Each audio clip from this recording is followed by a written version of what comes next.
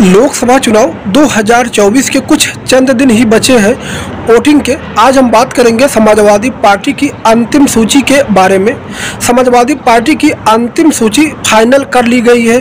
प्रत्याशियों के नाम फाइनल हो गए हैं। बस सूची का आधिकारिक ऐलान होना बाकी है, जिसमें कैसरगंज लोकसभा सीट से समाजवादी पार्टी के प्रत्याशी होंगे वैद्यनाथ दुबे।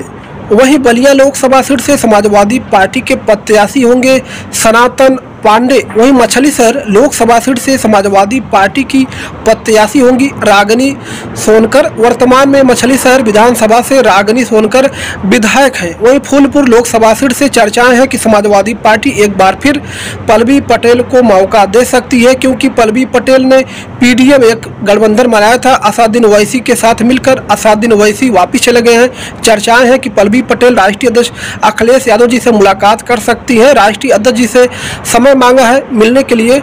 पलवी पटेल 2024 लोकसभा चुनाव में फूलपुर लोकसभा सीट से इंडिया अलायंस की प्रत्याशी हो सकती हैं।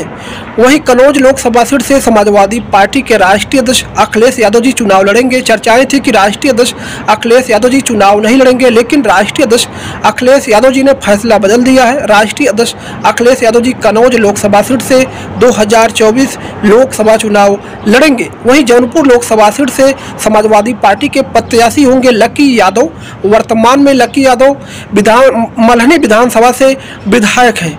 चर्चाएँ थी कि समाजवादी पार्टी यहाँ से बाहुबली धनंजय सिंह की पत्नी श्री कला सिंह को टिकट दे सकती है, लेकिन समाजवादी पार्टी ने फैसला बदल दिया है।